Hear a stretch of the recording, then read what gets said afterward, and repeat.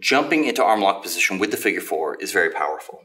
However, I'm not pinning him except for when I transfer my weight forward.